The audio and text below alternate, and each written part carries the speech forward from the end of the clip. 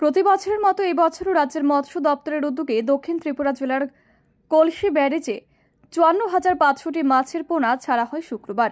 পাশাপাশি এদিন মৎস্য চাষ সংক্রান্ত একটি সচেতনতামূলক শিবিরেরও আয়োজন করা হয়।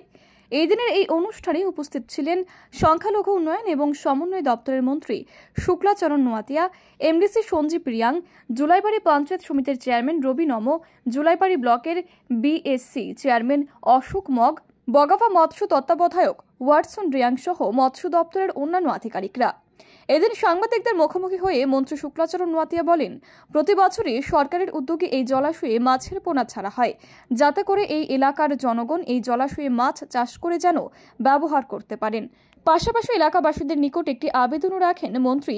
তিনি বলেন, এই এলাকায় বসবাসকারীরা যেন এই জলাশয়কে কোনোভাবে দূষিত না করে এবং কোনো প্রকার বিষ কিংবা ওষুধ যেন প্রয়োগ না করে। এই নদীতে প্রত্যেকটা বছরের মতোই মাছের চারা সারা হয় এবং এলাকা যারা বাসিন্দা যারা আছে, এলাকাতে যারা বসবাসকারী যারা আছে, এইগুলি তাদের জন্যই এবং তারা এই এলাকা যারা আছে তারা যত্ন সহকারে তাদের আমাদের রাজ্য সরকার এবং কেন্দ্র সরকারের সহযোগিতায় মাছের দপ্তর, মৎস্য দপ্তরের উদ্যোগে এইগুলি করা হচ্ছে। এই আগামী দিনে এই আজকের দিনে আজকে প্রোগ্রামের মাধ্যমে আমরা অবগত হয়েছি যে এই এলাকার যারা বসবাসকারী আছে সবাই উৎসাহিত এবং তাদের জন্য করানো হচ্ছে।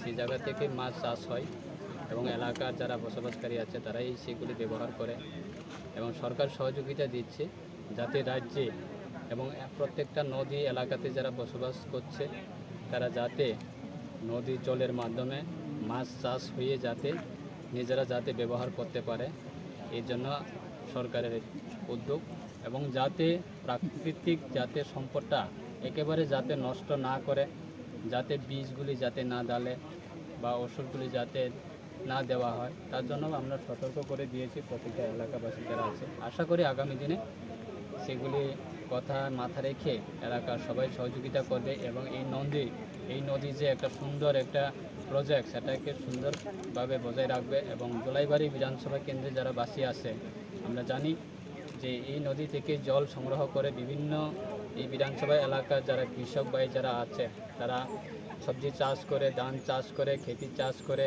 এই নদী থেকে জল সংগ্রহ করে। তাই সেটা আগামী দিনে আমাদের এই প্রজেক্ট সুন্দর থাকবে এবং আশা করি বিভিন্ন প্রজেক্টগুলি আমরা এই এলাকাতে বা এই নদীতে আমরা ইমপ্লিমেন্ট করার জন্য আমরা চেষ্টা করছি।